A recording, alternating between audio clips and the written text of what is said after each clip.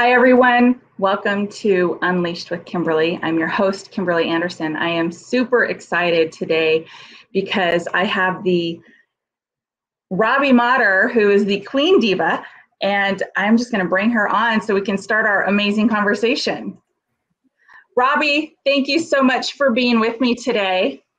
Kimberly, I'm excited to be on your show. It is fabulous. Thank you. Thank you. So, why don't you just start by telling everybody what it is you do? I mean, I know you personally, so I know that you have and wear many hats, but share with us all the things that you do. Well, my my most favorite thing I do is that I am the founder and CEO of the Global Society for Female Entrepreneurs, a 501c3 whose mission is to empower, empower, inspire, mentor, educate women of all ages and all ethnic groups. And we do it through our networks, through Zoom events, through special events, and I just love all the women that are part of it and help them grow in sort of greatness. All the women that do know you and follow you, we you're the we know you as the show up. What you're you're famous for saying and telling us to always show up and ask. Absolutely. That is that is my passion and has been my passion for years uh, to make women realize the power of showing up and asking. Um, and I just can I share a quick story that was a show up story? Uh, Absolutely. Uh, this past weekend, um, O'Shea, who's a celebrity designer, came to spend some time with me, and we went to the links at Summerly, and I introduced her to the the woman who they used to own the Forbidden City in Long Beach. They now are managing the restaurant and the catering for that facility. And I had it told her that O'Shea was coming, that she was a celebrity designer. And on the way, when I picked up O'Shea from San Diego, she said to me, You know, I just feel like I need to have another shop in the Inland Empire area because so many people are buying. And I thought, wow, that would be cool. She said somebody at Riverside would call her. And I said, well, maybe something will happen closer. So uh, when I introduced her to Gao, and she told Gao what she did and showed her some pictures, Gao took her by the hand, took her into another room, showed her space, and said, You and me be partners. You design the clothes, I'll bring in the, the material, we'll get the people to make, we'll bring in stuff, and we 50 50 partners. And that's what happened. Wow. Uh, that is a show. That that was like about a 15 minute event. So that was that was totally a show up. So O'Shea was just beside herself. So they're now working on bringing in stuff.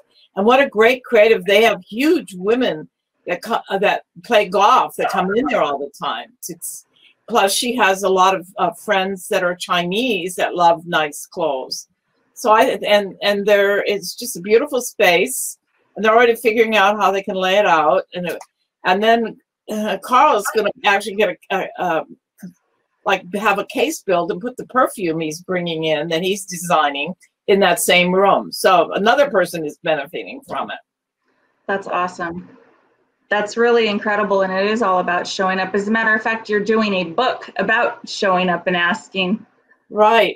And, you know, I've been wanting to do this book for years, and I wanted to get, I could have probably written all the show up stories myself, but my passion was really having other women be, of our members, be part of it, because then they could become a published author.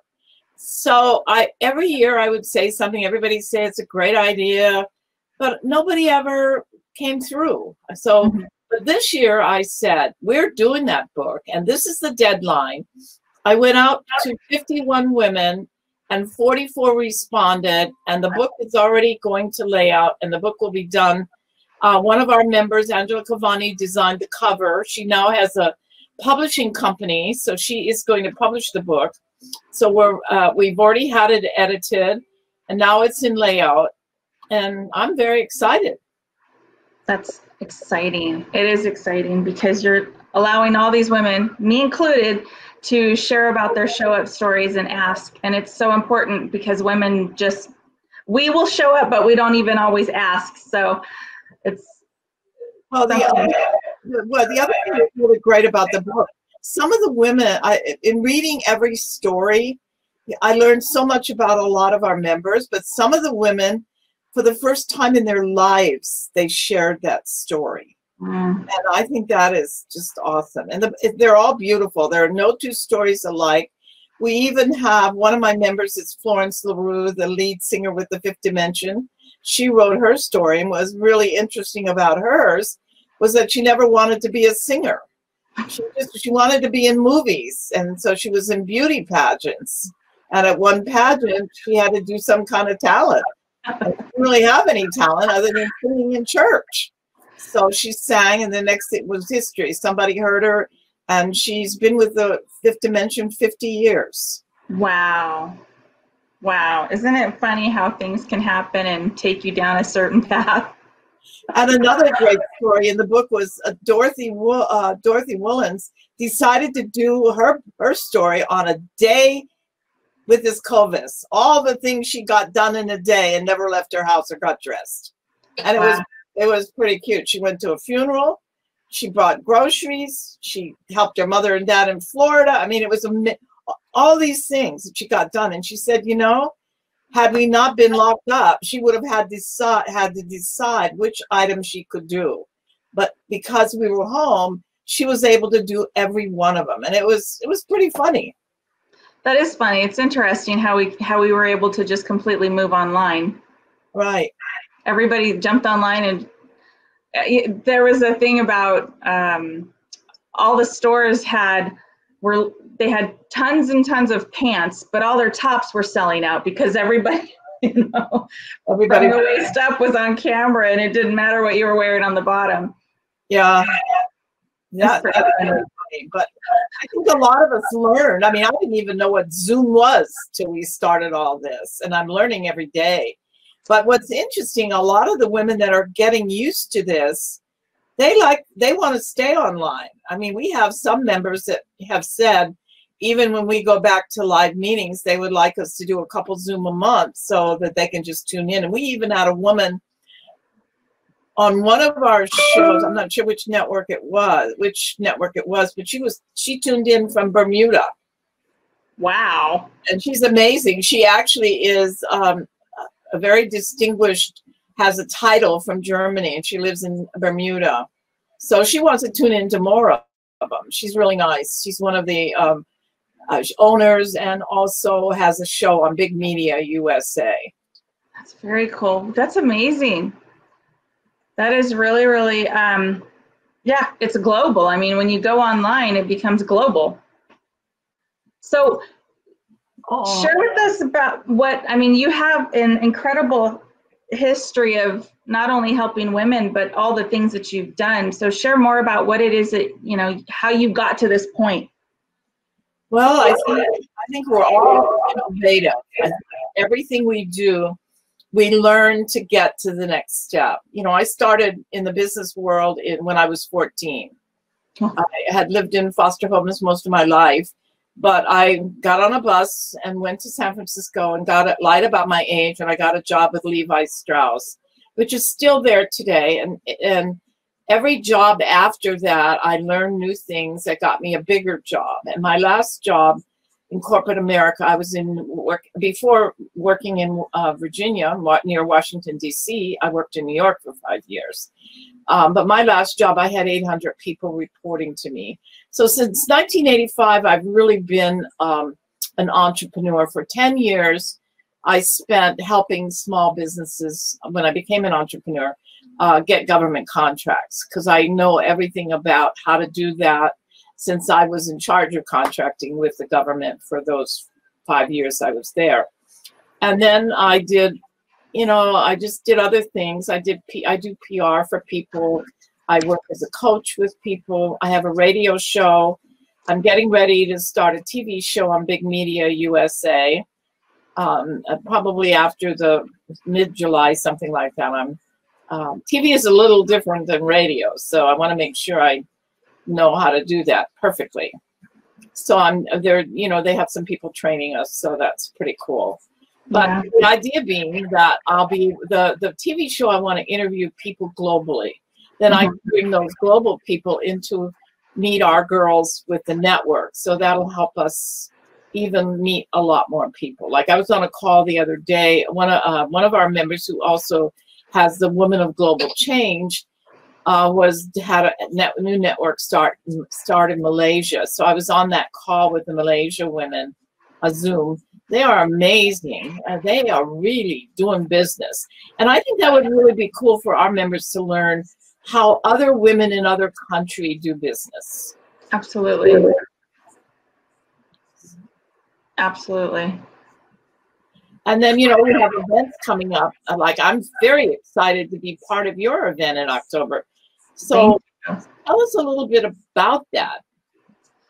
Well, now you're interviewing me. I love it. So, we, you know, one of the things that I love most, and and I think a lot of the women that follow you, Robbie, we all are trying to help others and create platforms where we can you know allow people to show up and ask and really shine in their their brilliance and so i do a lot of this stuff with the um, helping women really know their power and their true selves with all my goddess things.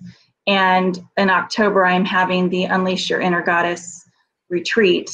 And you were a part of and i've spoken a few times on this show about my unleash your inner goddess virtual summit where we discuss overcoming negative limiting beliefs and obstacles and all kinds of things where you know we've all gone through something and there is light at the end of the tunnel and we're not alone in all the things that we have to do in life and so one of the things that i've I've put on is different things for the Goddess series, and in October is the retreat. And you have a couple of conferences coming up as well, where you're constantly highlighting women and shining. Right. Um, yeah. Um, my conference October 17th at the Links And we have nine speakers and eight entertainers. It's all day long. It includes continental breakfast, lunch, opportunity drawings, live auction, and it also includes a lot of networking, uh, a few vendors. Because last year I had more, and this year I'm not going to have as many uh, because I want to do more things where the, the members can interact. Mm-hmm. Um, and last year was such a blast. It ended at 5.30 and 11.30 they were still out on the patio dancing. you never know. But the speakers are great and the topics are great. And and uh, tickets are only $100. And that includes continental breakfast, lunch, everything for the whole day. And yeah. I'm excited about that. And I'm hoping that by October, we'll be able to, you know, everybody will be able to come together in a group I, I was going to do our um, our awards, Lady in Blue awards this year, but with everything happening, I had to move it to January because the other thing is uh, we're doing collaborations, like collaborating with you, collaborating with Carl Wilson and all his uh, All Women Rock. It gives all of our women an opportunity to be part of all of that. And what was really amazing to me um, as we get like the first one he's and he's had to move the dates out several times because he was going to be earlier in the summer so we just moved him out again. But the he usually has about between 50 and 59 awards and i'm happy to say that most of the awards coming up this year of the 59 we probably have 49 of our girls you wow. know um, and all of them you know we, we we're pretty lucky. But what was amazing to me is how many of our women who are doing such amazing things have never gotten an award. So I'm yeah. happy that we have these collaborations where I have the collaboration with uh, with Carl and I also have it with uh, Michelle Bergquist and her group and we are been able to give awards there. So I'm always looking where we can collaborate and our women can meet their women and we can nominate them and everybody's happy. But I was just amazed. Like I, um, I know last year when we did the one in Orange County, um, one of the one of our members who runs the HeartLink in Orange County told me she, she's been doing that for ten years, helping women. She told me she had never ever gotten an award. Wow. And one of our directors, Angel Cade, told me the other day she's never been gotten an award. Yeah, Really? amazing. Yeah, amazing things. So I'm happy that we can do that. You know, we don't do what we do to win awards. Right. It's kind of nice to have your peers recognize you, and and a lot of times I just hear about them because somebody nominates me, and then all of a sudden, not like this uh, award in Florida. Uh, Carl Wilson had nominated me. I never knew that existed, but then immediately I went to her. She was almost at the end, and I said, "May I nominate 13 girls?" And she said, "Yes." So I nominated 13 women. Now next year I'll nominate more, but I was happy to get the 13 in. Right. But you know, it's it's just the way life is that we we really can help each other. It's not there's not the comp we don't have competition. People buy from people they like. right. So we can share and do and help everybody move forward. So that's my my saying. Yeah. And it gives us the, the opportunity to acknowledge other women and not only not only just about the award, but it's like recognizing and saying, hey, we see you. We see what you're doing in the community in the world and thank you. You know what's interesting? What's interesting? A lot of them, are, even though they're still doing the same thing, and there's passion uh, is there to help others. Once they get an award, people look at them so differently. Like they move up a pedestal, and yet they're the same person doing the same thing. And I don't know why that is, but I've seen it myself that it, it does.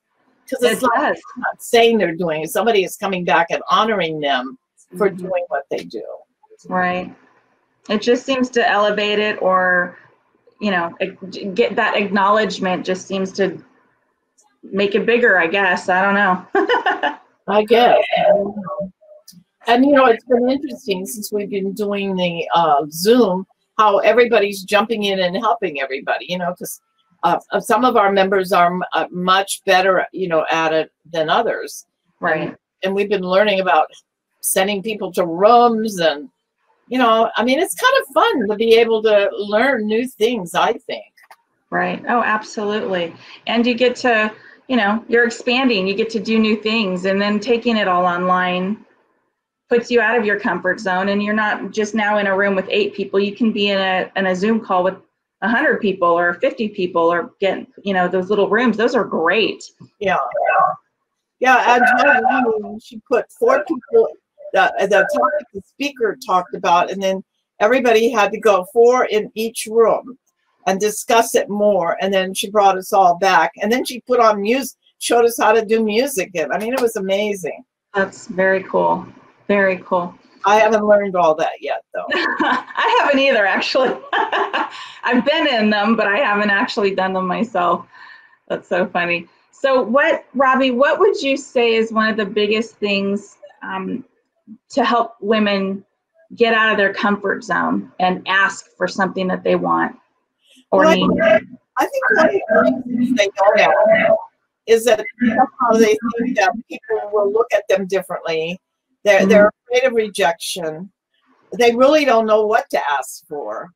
So, well, in in order to prepare for the ask, you really got to break it down. You know, really make it fine tuned so that when people hear your ask, they know exactly what you're looking for. So many times women think, and even I get even men, I think it works for men too, that when they stand up and do their 30 second commercial, everybody in the room knows exactly what they need. They have no idea. Right. And so whatever it is, you need to spend. So at the end of doing your 30 second or 60, whatever you're doing, you can say, and how you can help me is. Because when you do it that way, you're not putting them on the spot. You're saying anybody you know that maybe could help me do this. It's just so much easier. And I've seen magic happen with so many times. And, and you just never know. Like a good example, uh, I how I got to see Gao again, who used to work at the Forbidden City. I didn't even know she was running this, but I was there one day because they had changed changed people working at the at the links and I wanted to make sure everything was in place for October 17th. So I met with the, the general manager, who's also the golf pro, and he said, "Oh, they were bringing in this couple who used to own a restaurant in Long Beach, And I said, Well, I don't go to Long Beach months, but maybe I've heard of the restaurant. And they said, Forbidden City. I said, Oh my God. One of my net networks used to meet there till they sold the restaurant. Now we meet at the boathouse. But Mhm. I mean, there's another small world. Yeah. And and so it was interesting because they knew lots of people in Long Beach, but they don't know anybody here. So I've been able to, and seeing them again, I've opened some doors for them to meet people here. And make connections. Yeah, I mean that's what we can do. It is. You are the great connector. Well, but every day I meet new people. You never know where you're going to be and who you're going to meet. And I love that philosophy that you have about just showing up because you really do never know who you're going to meet or what you're going to see or something might, you know, What, what's going to happen? yeah. Yeah, I always say showing up is like a treasure map. You never know what treasure you're going to find, and there's always treasures. So, you know, where people have marketing plans or they have strategic plans, they need to put this put a show up plan together. You know, what are they trying to find? Where are those people showing up at? Who might who do they know that might be showing up in those places? And that's, you know, kind of how what they look at. So, what would you say would be the best things they could put on their show up plan? Because a lot of people have never heard that. And I love that's one of the things that you recommend for people because they do have a marketing plan. They do have all these other plans in place for their business and their life. And there isn't a show up plan. Well, the first thing to do is look at who our best customers are. Where are they showing up? That that'll give you a start of because you know you, you some I I've been in meetings where people say my customer is anyone with like if they're hair anyone with hair. Well, that's not true. Or my it was a lot of times they'll say my customer is anyone. Well, if you're selling Mercedes, your customer needs to have money. So you that's what I'm saying. You need to kind of define it and then you have to decide uh, there's many times you just show up to make friendships and that's good. But if you're really showing up to do business you need to be you know where are you showing up at? You need to look at that. And you Mhm. also uh, so many times people walk in and the first thing they do is they're giving everybody you know you need to build the relationship. I mean i can't tell you how many times i've said to somebody how can i help you? And somebody have said to me nobody ever asked me that. Mhm. Because they're trying to sell me something? Mhm. realize if you build that relationship and you listen and you they may tell you something and you, maybe what you do could help solve the issue that they're having then you can come back with that. Or they may know someone. You know i always think when you're trying to promote something you don't go direct you're not going direct to that person. You do a generalization so Mhm. you're not putting them on the spot. If they're interested, fine, but they may be thinking, who do they know to connect you with? Right.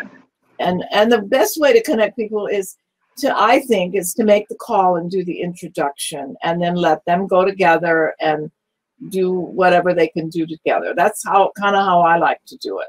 I'll say I would like you to meet, and for both of them, here's your both of their contact information and and then they can go you know do whatever. But uh, one of the things happen people don't the follow-up is awful. People keep Right. going to meetings and getting all these cards and then throwing them on their desk or in a in a drawer but they don't follow up. They just keep going and get more cards. And the answer is you know work the cards you have. You probably have so much that you can generate just from who you know already by Right. working them right. Yeah, absolutely. And and even nowadays, not everybody wants to call to make introductions and doing it on a f- email or even in Messenger on Facebook where you can connect people into a message works just as well. Yeah, I usually do, I do a text between two, and that seems to, you know, I'll text the person say, you know, I think you sh- you two have a lot in common. You should meet, or there could be a collaboration between the two of you, and then I share the contact with both. Yeah, absolutely. I think it's really important to I mean, you of all people, you were able to connect so many together and then the like you said the follow through and the follow up making creating that connection Well, you know, as you know, sometimes I'll send out a lot of opportunities. Some jump on, like there was one that HGTV, the, they were going to do a show of somebody who worked very hard last year that bought a home. Mm-hmm. And, and, um, and I sent it out to all our members. One of our, I don't know if any other did it, but I know one of our members in Temecula did do it and she got picked. So when, what they will be doing is coming to her house and they have a, like a 35 million audience.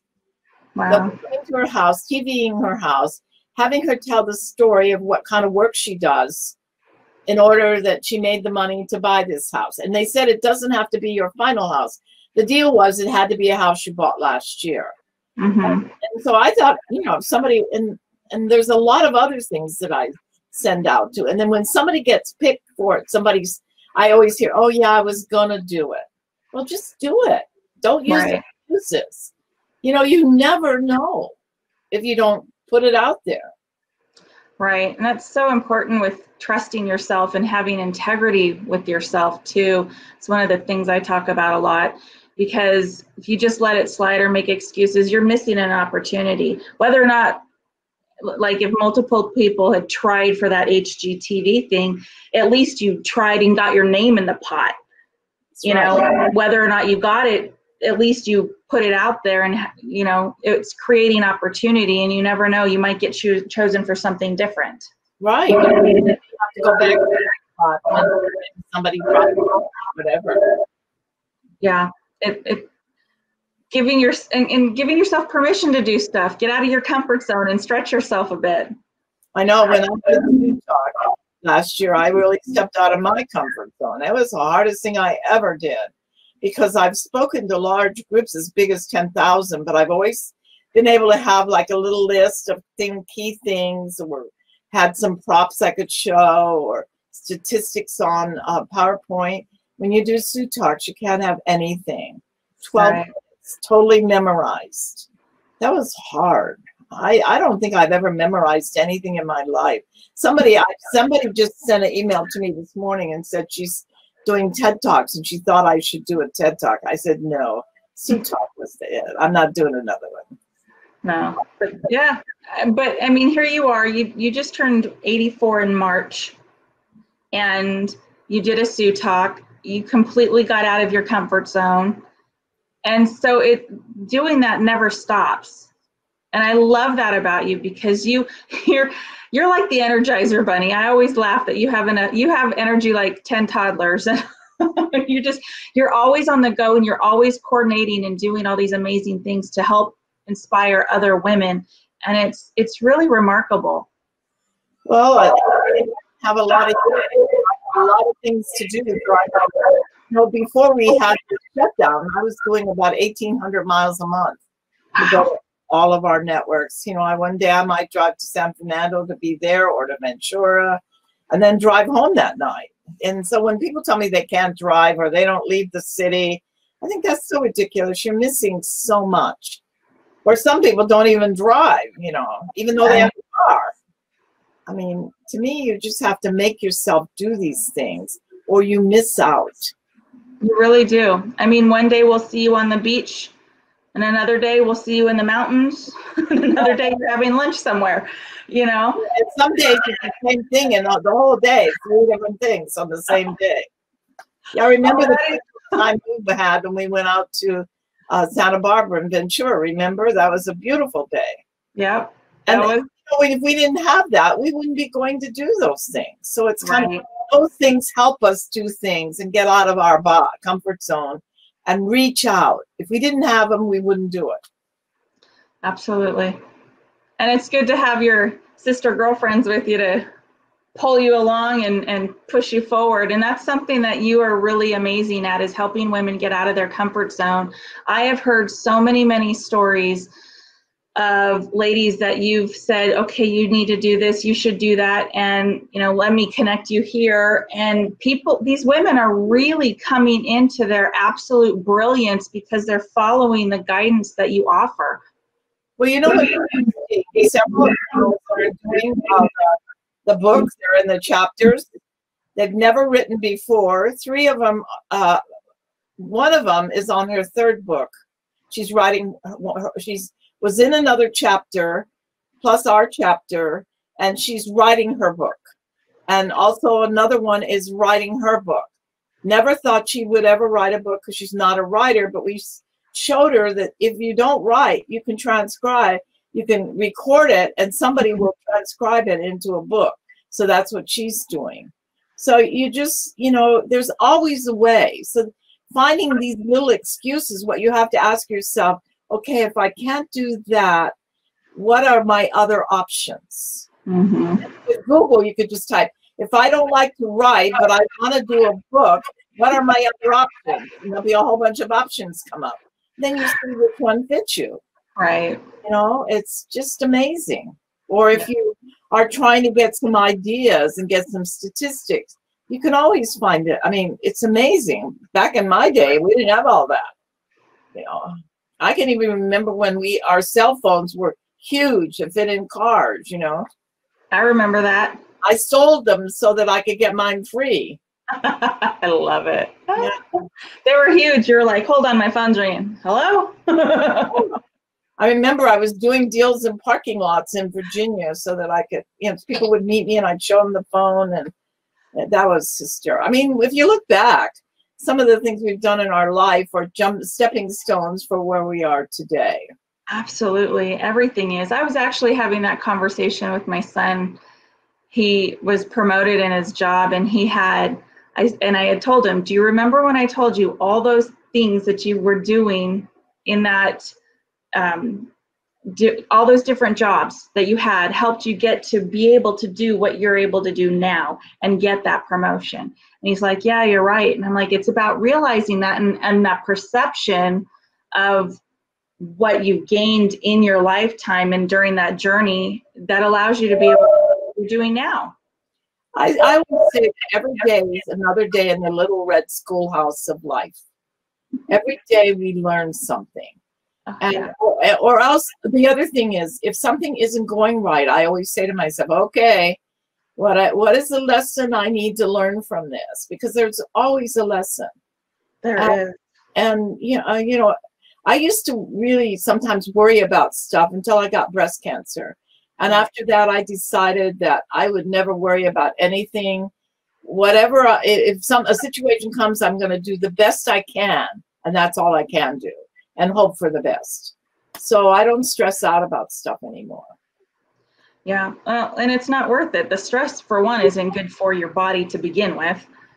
And it's a wasted emotion. It's, you know, it's one thing to have maybe concern about something and then you figure ways to get through it and to the other side of it. But stressing about something, especially things that have happened in the past, Right.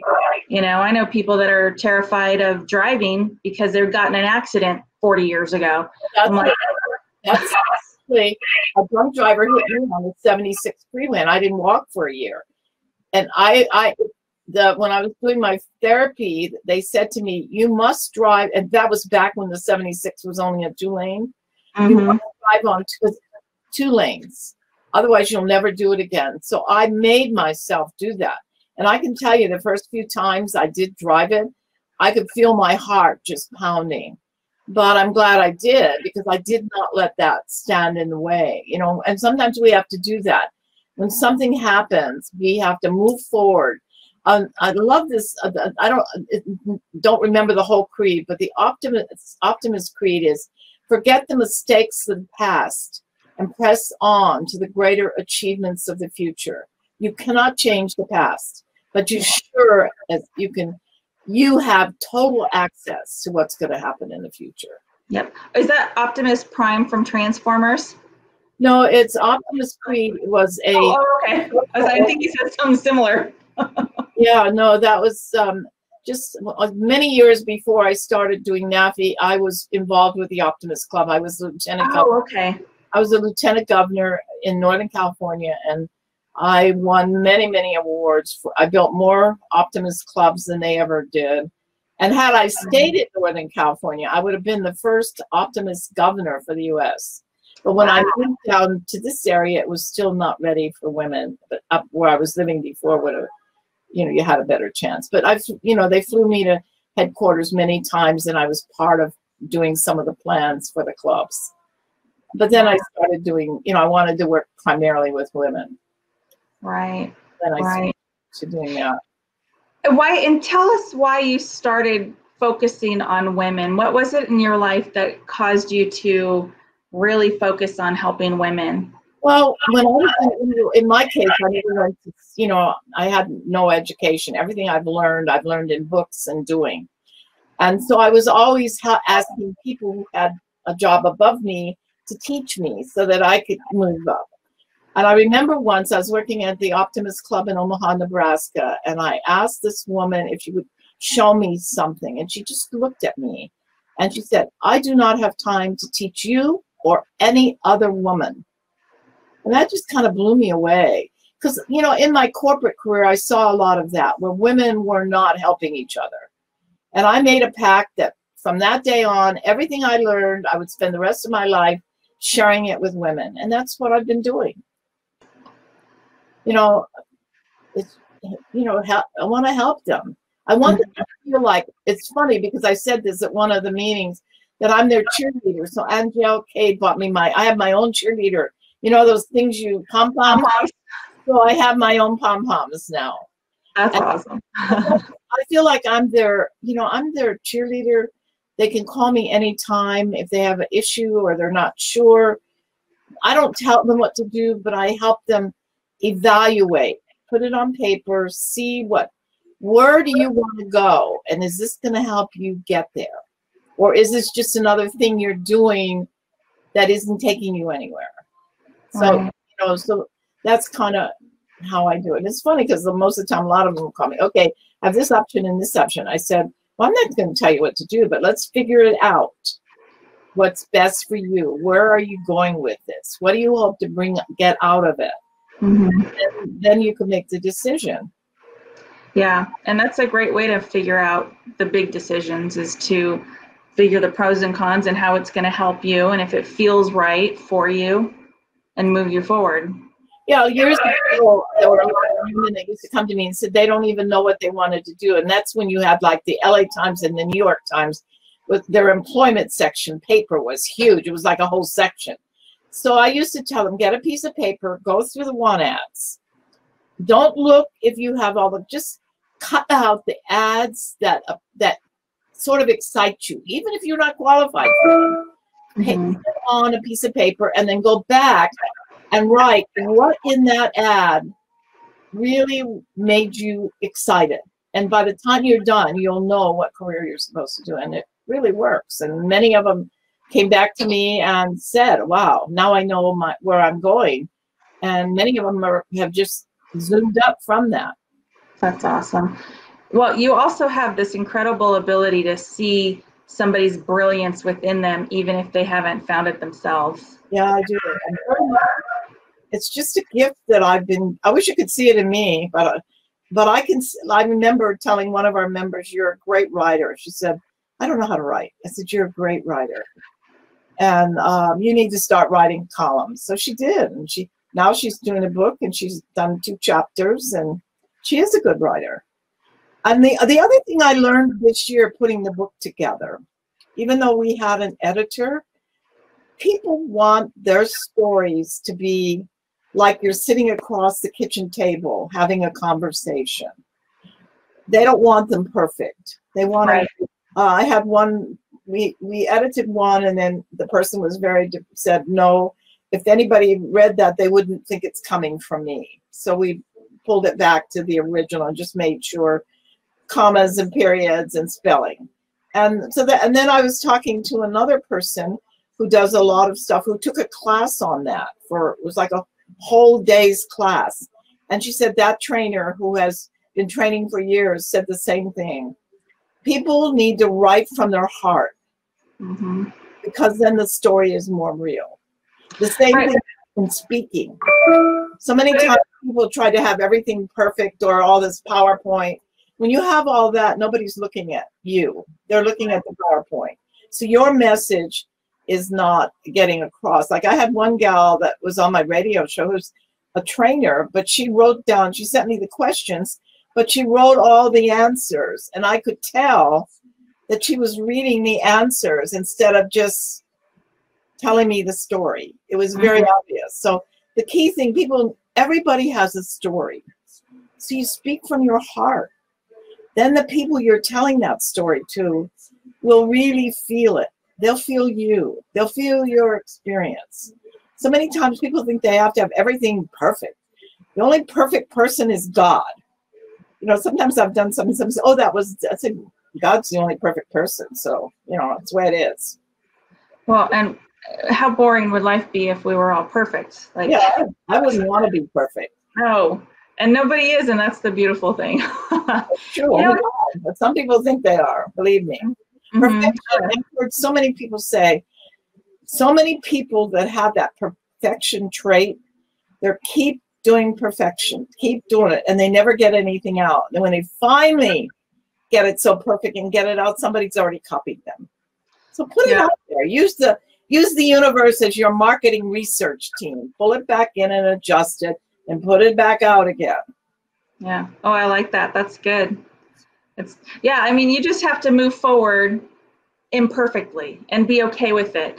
And I'm one of those people that falls into that mild perfectionism where I, I want to know more, a little bit more how to, even starting this TV show, I'm like, okay, I need to know how to do these things so I can actually let it, make it run. But that's, But you it learn doesn't have to be perfect.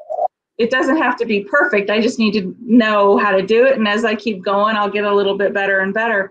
But what I liked about what you said is not only writing from your heart and speaking from your heart, and and the person that's reading it or hearing it, it moves them differently too because it's not you're not just reading a story that's in proper and perfect English or whatever language or anything like that. It's allowing the person to feel and we read a lot like that too how we would talk right.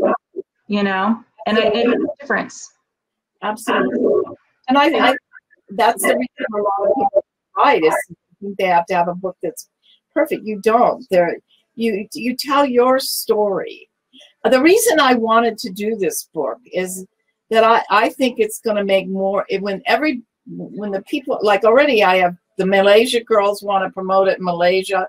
One of the gals that uh, wrote a uh, for, wrote a Ford, one of the Ford, she actually only teaches top CEO women, top of huge com- companies.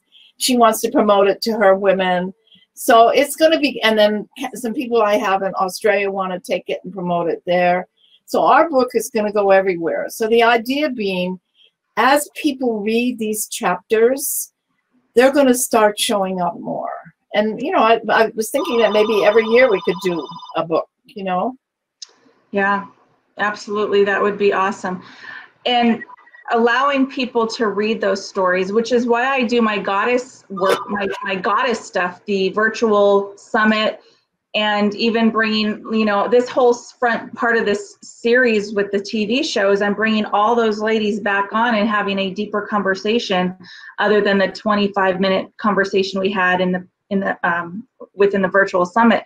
But it's about, sharing those stories and helping other people know that hey you're not alone and you can do it Yeah. and Others could do a TV show, others could do a radio show. You know, even if you just, I, I'm encouraging some, even if you just do it once a month, right start there, you'll get knowledge. And then you, when I first started my radio show in 2004, I just did it once a month.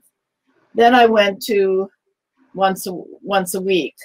And then doing this lockdown, I've been doing it every day. But now because I'm going to do the TV show and we have networks coming back, probably going to go back to once or twice a week for the radio show and once a week for the TV show.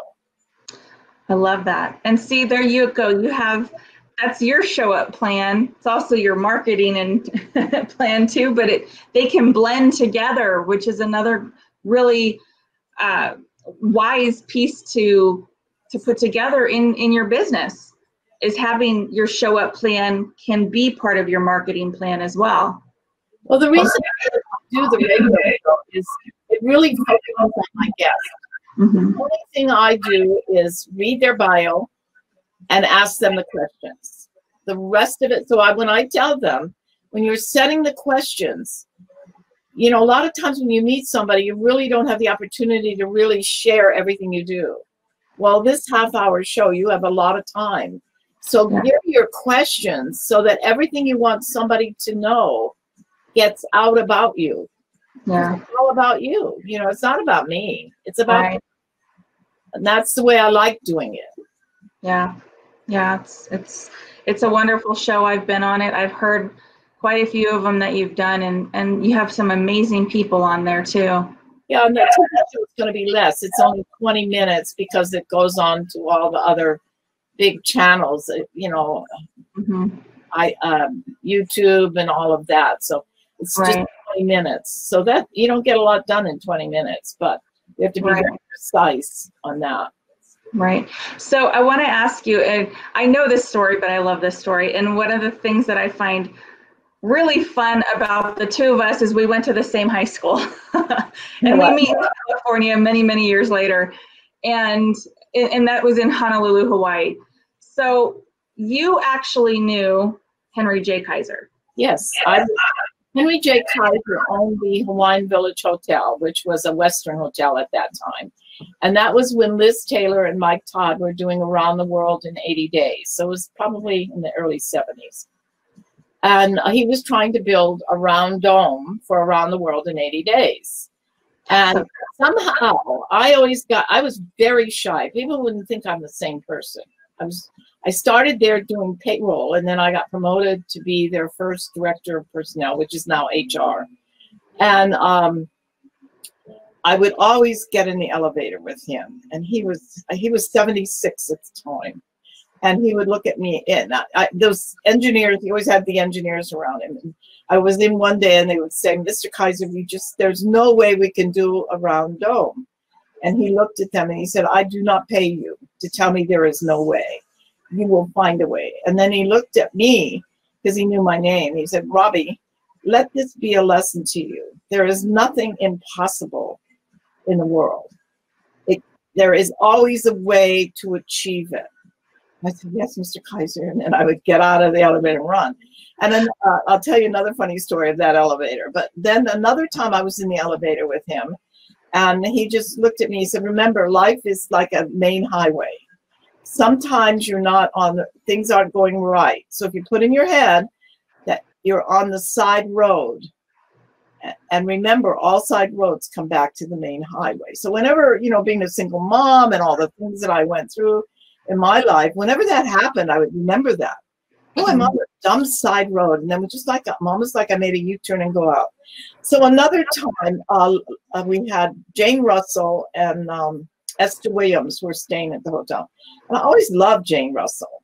But you know, when you see him in the movies and you see him in person, so I'm I'm in the elevator with one of one of the staff people, and I said, wouldn't it be great if Jane Russell would end up in the elevator with us? And this person is kicking me because she was in the elevator, and I just didn't recognize. And of course, and of course, Elvis stayed there while I was there when he was filming Blue Hawaii, and it was funny because I could look out my office and see his balcony, and he would he would jump up every once in a while and throw things into the pool, and all these people would dive in the pool to get the belongings. And I got to meet some of his people. Um, but you know, working there was a lot of fun back in those days. And then I left Hawaii and transferred to a Western hotel in Washington D.C., the May, the Mayflower Hotel, because I wanted to come to the states. Right. Now I wish I'd always stayed there a lot of people I hired are still there. Wow. Last time I was there. And then my aunt, my auntie Violet Malama was the executive housekeeper for the Royal Hawaiian Hotel for 30 years. Wow. And my other aunt, um, her last name was Bishop, was the, the um, she was the assistant, but they did the Royal Hawaiian and the Moana. So when I left Hawaii, I actually stayed at the Royal, and they used to have those those little cab uh, like little houses on the property. They're not there anymore. Right. But my aunt knew everybody. I mean, it was amazing. So when the year I went back for my 81st birthday, I it was interesting because I had put on my board, my vision board, I, I couldn't find Maui, so I put Honolulu. And a few days later, my daughter called me and she said, Mother, I want I'm sending you to Hawaii. Oh, no, and I had Diamond Head, I had the Royal and Honolulu and American Airlines. So she said, You're going on American Airlines, you're staying at our at Airbnb near Diamond Head, and I've arranged for you to have your your birthday dinner at the Royal Hawaiian. I said, Why didn't I find Maui? but vision boards are powerful. Everybody should do a vision board. I every year I do a class for the girls, and it's really fun when they come back and they show me what has happened. Because when you have a visual, it's gonna it makes it easier for it to happen. Yeah, it really does. It's interesting the to have that visual and be able to see it every day and think about it. That's what cause, starts causing you to really find it. Your brain finds a way to make that happen. And it, you know, we, what I tell them, get a bunch of magazines, get a board, and get the boards at the Dollar Tree. You know, one of those heavy ones, not the thin ones. Mm-hmm and go through the magazine and don't even have a reason. Any picture that grabs you, just start tearing it out. And then after a while, you start cutting and you place it. And it's amazing the magic that happens with the boards. Yep. It's the, it's putting it out there and your mind starts really focusing on it. It's like when you go to buy a new car and you're like, okay, I want a XYZ next thing you know your brain is constantly seeing that particular vehicle. It's because it's searching for it for you and a way to make it happen. Yeah one year we had been at um, i wanted to go to i always wanted to go to italy and stay in a villa so i had the villa and everything on my board and about oh, i guess a month after we did the i did the board training i was in palm springs and there were it was a big conference that Dr. Sharon and we were all involved in. And then I said to some of the girls, don't don't rent a place. A friend of mine had a condo. So we had 18 girls at that condo. Very good. We were sitting around, everybody was having some champagne, and I just said, oh, wouldn't it be great to go to Italy? And then of course all the girls, yeah, I like Italian men and all that. And one of the ladies, we knew pretty much everybody there, but there was one gal that we did not know. She was the niece of one of the people there. And she said, You do not know this, but I used to live in Europe. Let me see what I could do. She came back three days later. She said, I have, I, I can put together seven days in Tuscany, airfare, food, drivers for $800. 35 of us signed up and went. And we, we had like four villas at this place. It was amazing. Every day the drivers we could go wherever we wanted you know florence or venice or wherever and then we would all come back at night and we'd eat and then you know have a party in whichever villa it was amazing that is amazing i love it and that again it's about that's that was an ask or really it was more of a declaration well there, there was no way i thought it was going to happen but it did and it was beautiful and you know it was a great experience yeah. So do a vision board, show up, ask for what you need and want. And like Mr. Henry J. Kaiser said to you, nothing's impossible. And I absolutely love that. Nothing You know, you know, it may you may have to go many ways to get there, but there is a way. Right. really want it. That's the key. Is it something you really want? And I really believe that whatever you do, you must have passion for. You will mm. excel much faster if you have the passion. So many people, you know, like years ago, parents told their kids, you need to be this or that because of this and that. I, you know, you just, you need to be what you feel is right for you. And like when my kids were growing up, I just said, I'll work three jobs now, but I'm not supporting you when you're older. So you better find your passion and get a great job. And they all have great jobs. But um, you know, but be what you really want to be. Don't be. And like the, my youngest daughter, she came back several times with different things. So when she told me that, I said, "Let me introduce you to people doing that." So she went and met with them and learned the good, bad, and the indifferent. Then she would change her mind and do. Then I would introduce her to that and finally she found what she really wanted to do and she's excelled they you know very they all have excelled and but that's what i did when they said something i looked for people doing that so that they could hear you know some i think everybody if you go to work for a company if you could go in for a couple weeks you really learn a lot about the company because a lot of times when you're doing an interview you know, they're being wonderful and great, and that may not really be what the company's about. Right. Yeah. Well, that's awesome that you were able to do that for your children. That's so great. You see so many people um, changing and shifting gears in their clear way into their 50s even sometimes 60s literally switching gears and going to do what they are passionate about now instead of doing it back then and it's great it's awesome for people to be able to do that and, and make that shift in their life but how awesome would their life have been if they were doing that from the beginning? I remember job uh, i'd always worked in companies. I'd never been an entrepreneur. And even my children they were so used to me going to work every day and i became a you know marketing consultant and and when I first quit the job, I couldn't have a client till after I quit because I knew I was going after people to do business with the government. It would have been a conflict. And they used to say to me, Mom, why don't you go get a regular job? I didn't listen to them because I knew that everything I did in corporate, I was always suggesting ideas and moving that I knew I could do it. Yeah. It was, it was not easy in the beginning, but it did happen. Yeah, I didn't, I didn't listen to them. So sometimes the negative thoughts in our brain, we're not, we think we're not good enough. Oh, why kid myself that I could accomplish that? So you need to put positive things in your brain. Read positive sayings every day to get your mind in the mood. Tell yourself how wonderful you are, because you are.